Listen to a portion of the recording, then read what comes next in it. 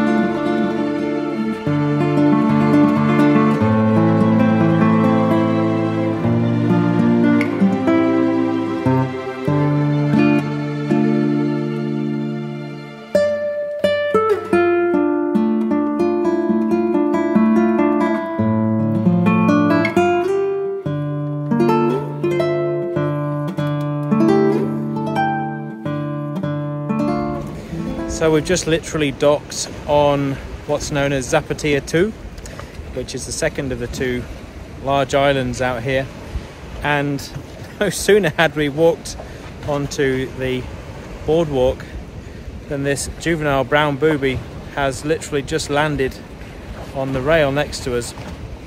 We think probably because there is currently a hurricane, Hurricane Julia, which is hitting Nicaragua, which is just further up the coast from us, where we are here in Panama, by a couple of countries, and it's uh, yeah, it's going to put a lot of birds out of place. And this one is probably, no doubt, exhausted from being out in the ocean and trying to fight those winds, and so has just plonked itself down here on this balcony, which is fortunate for us, means we get to see these wonderful birds up close.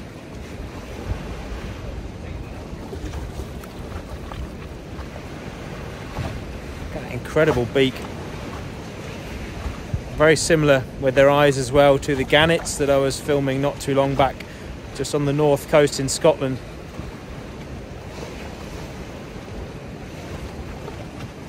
What a beautiful bird. My first time ever seeing a bird up this close. That is, of course, the brown booby that it is. It was Um, a few moments ago just perched out on that little outcrop there, of which there is still an osprey sat up there. So, yeah, not a bad way to start the trip to Zapatilla. What a beautiful bird. So, I'm going to let him get some rest and we're going to head off into the island and see what we can see.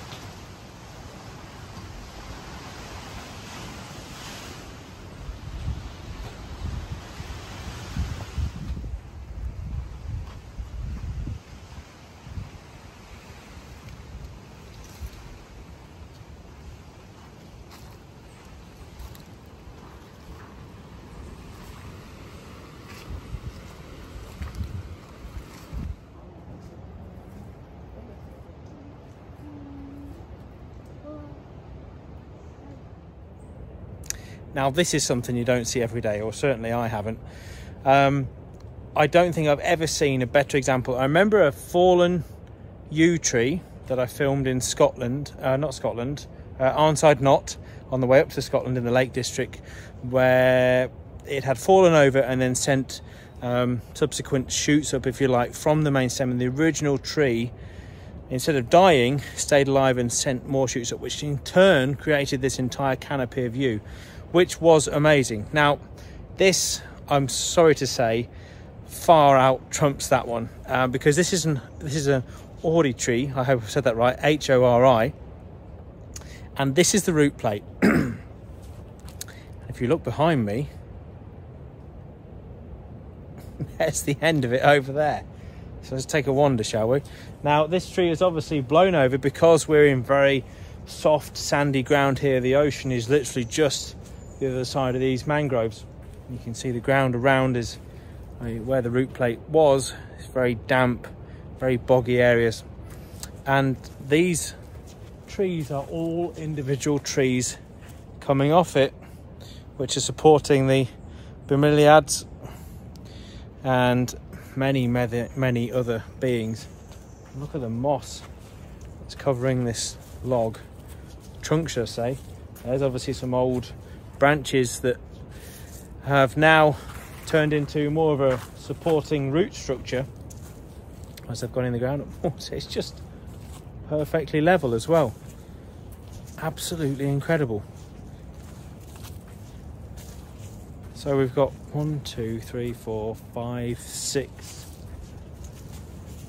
seven, eight, nine trees coming off this one tree. Look at that, how that's bizarre, the shape of that, how it's just landed and then rooted and sent up another tree on this end when it still comes along here, look right the way from there, right the way down here, right to this end. And there is the top that has obviously now rotted off or what was part of one of the old branches. So just phenomenal. An entire ecosystem from one tree. And these bromeliads are these kind of succulent plants, if they like. Well, they're not succulents, but they, they cling on to the sides of the trees. And quite often back there, I found one that was on the ground because it had got so big and so heavy that it then couldn't support itself on the vertical stem of a coconut tree and had fallen off and hit the ground. But just phenomenal. What a habitat. Wow, I didn't think I'd come across anything like that on this island. Just amazing. Right, let's go see if we can find these caiman.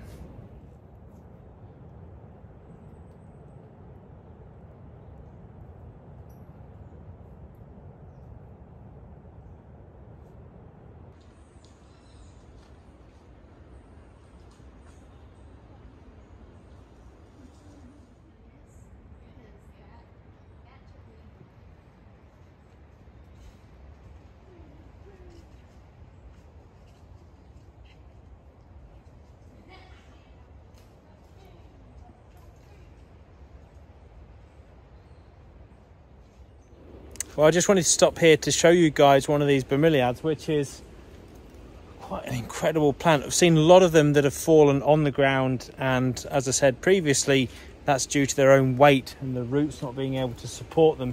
You can see this one is still hanging on because it's on a horizontal branch.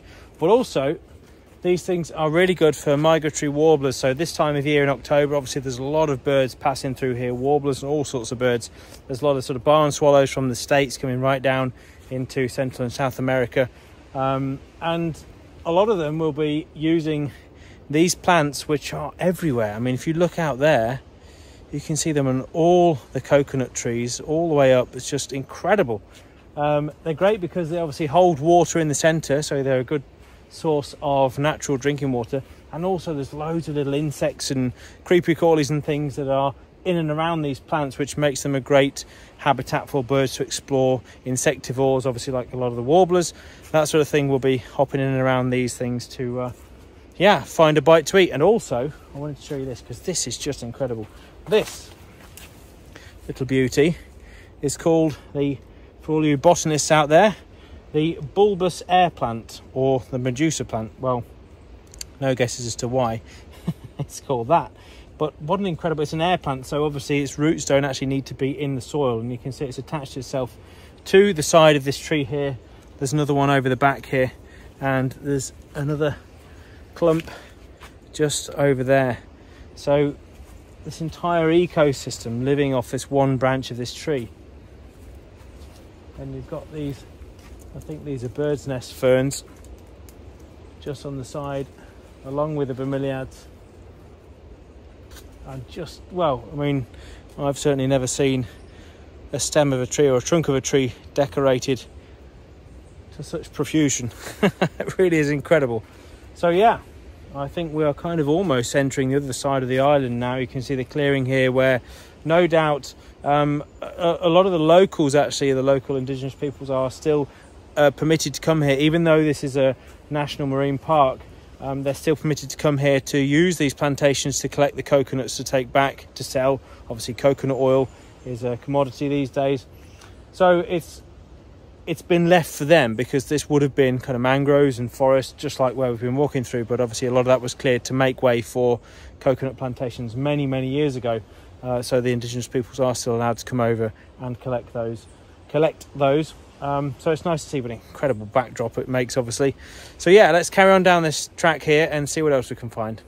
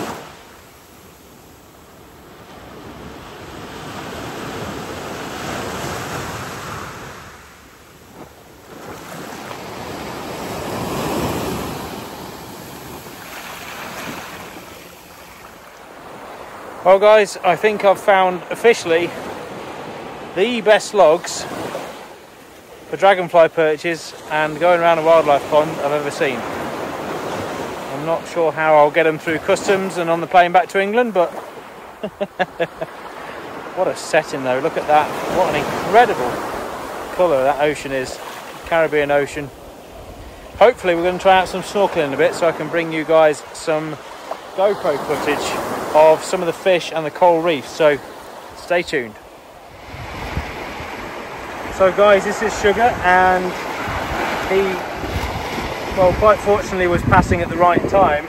This is a brown noddy, which is a gorgeous, gorgeous bird, seabird, but uh, we think again because of the storm that's been brewing and has now headed towards Nicaragua, it's thrown a lot of birds off course and this guy is pretty tired.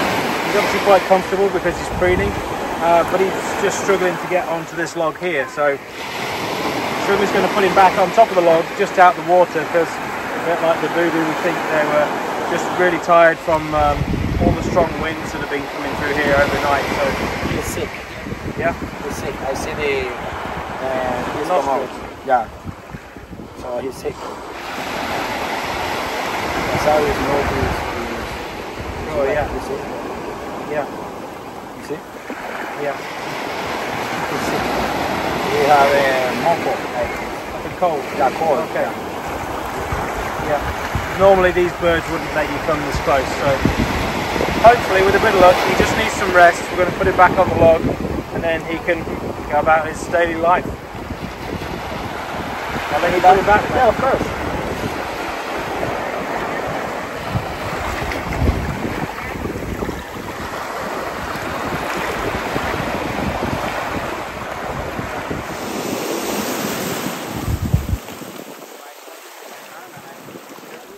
I always bring my baby fan for that day I was like,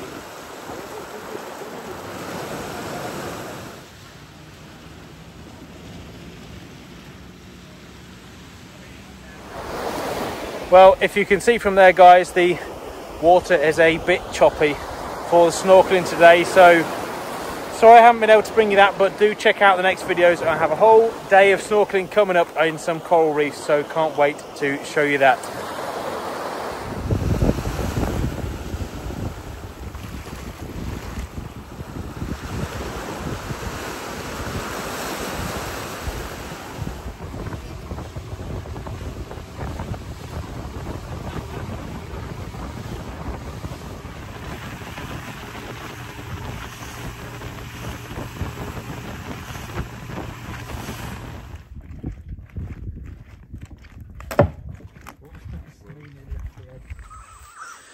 So right now it's pretty cool. We've got the sky. It's just filling everywhere you look with Montezuma oropendolas going right over my head.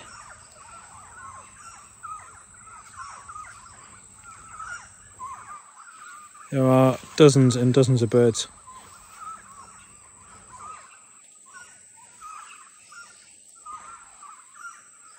Like a look at that.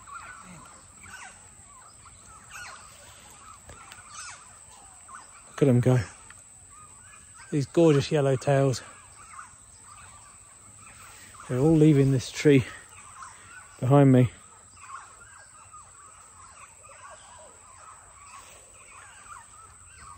And they are still going over. They construct like a nest that is almost like a weaver bird's. And it hangs from the trees. Quite incredible. They're like the size of a sort of a jackdaw, if you're familiar with those. Still going over. And the oro means gold, and the pendula relates to the pendulous nest that they build. Still going over. Must be 50, 60, 70 birds here. You can still hear them all around us. There's another one coming over. Magical. They're all they all sort of move through this time in the afternoon. You can see them still going over there.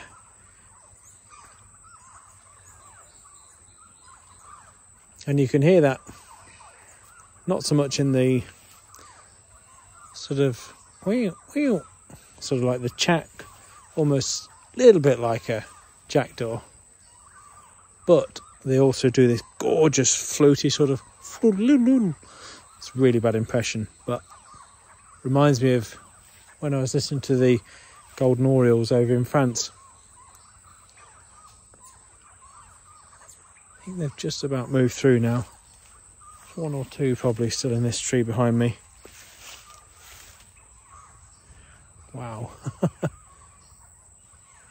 Never had a flyover from a flock of Montezuma or oropendolas. The last two just gone, I think. Not only do they have a brilliant name, they are a striking bird with an incredible nest building habit. And the last one's just going over now. Two, three. Wow.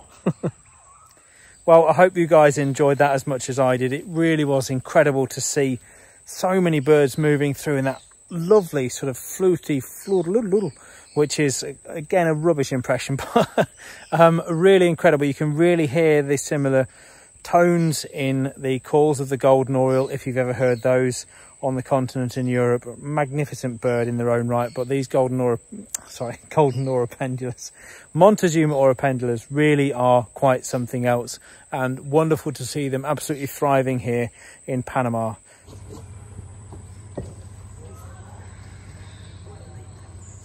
So while we are here creating this latest wildlife pond, and the guys are now moving a few more rocks into position ready for the second layer to go on top of the liner on the far end of the pond when it does fill up with rainwater, which it now does have almost a foot, I'd say is a good few inches in there in the bottom of the pond. Um, we were just moving some rocks and look what I found. This unbelievable caterpillar. I'm not sure what it is. I think it's a butterfly. Um, I'm pretty sure it looks certainly like it is a swallowtail of some sort just based on the swallowtails that I've seen in France. Um, just because of the size, the spikes, um, and yeah, I, I, could be completely wrong, but I just thought I would show you guys this incredible caterpillar, which I think is going to pu is on his way to pupate because it was on top of one of the rocks, which it just crawled onto overnight. So, and they don't usually leave the host plant until they are ready to pupate, unless they are looking for food. But the size of this thing, although Jim informs me they get a lot bigger over here, not maybe this species, but certainly a lot of the caterpillars get three or four inches, some of them. So uh, a bit like the hawk moths in the UK, if you've seen some of the videos I've done previously on those. So just sort of show you that incredible caterpillar. I'm going to go put him back now on the edge of the rock pile towards the bushes where I think he came from, just in case he's looking for more food. But Wow. Caterpillars really don't come much cooler than that, do they? Okay, so the guys have been busy sorting out these stones, these large boulders on the back end, and we now have some water. it's not much. Probably maybe eight, ten inches, but it's something. And um, hopefully we're going to get some more rain over the next few days. Meanwhile, the guys are going to shortly be starting on this end We've just been running through exactly how we want the dry stone wall effect to be at this end. We've been picking out some of the stone necessary for finishing and capping this wall off, if you like, uh, before we can let this thing fill up with water. We really need the water to come up to kind of decipher where the exact inlet's going to be over there where Jim is and where the outlet is going to be over on this side as well. So yes, a little bit more stonework to do with these back breaking boulders, but uh, hopefully very very soon we will be there. And last time as you can see we got the cobble beach and everything finished off. So all is looking good. Just need a bit more rain which i never thought i'd be saying in panama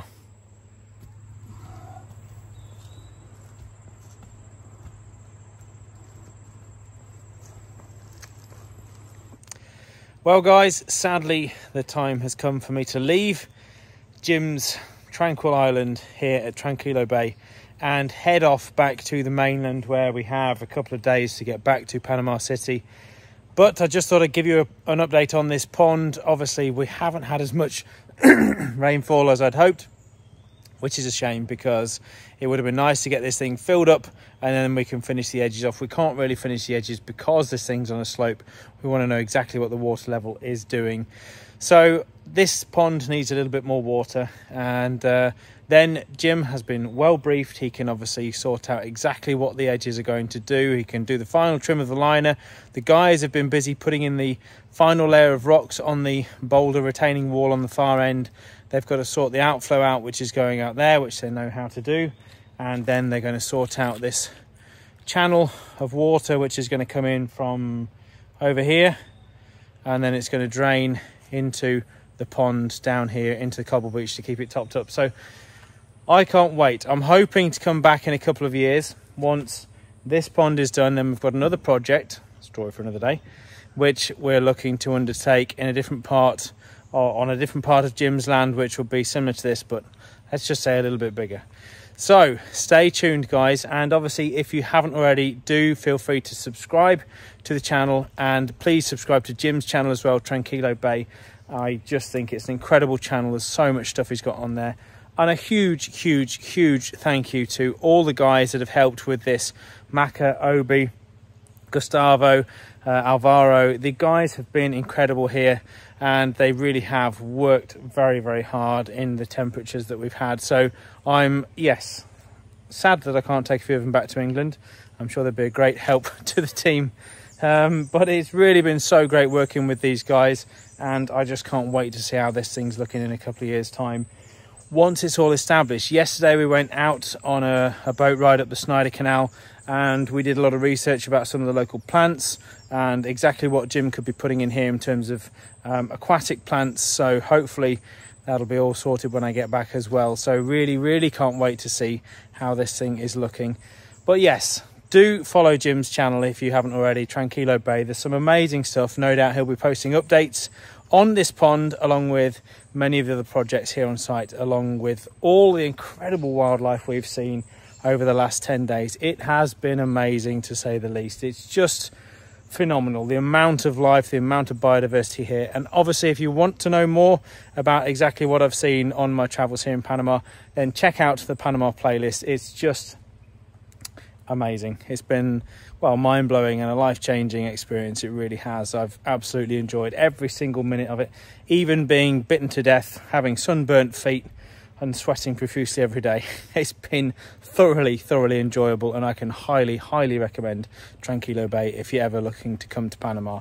So, thank you so much for watching, guys. Sorry I couldn't bring you the full finished product here, but hopefully you'll get to see that before too long and lots and lots of more content coming up obviously of my trip from Panama and also the many ways in which you guys can help wildlife in videos to come. Thanks for watching. I'll see you soon.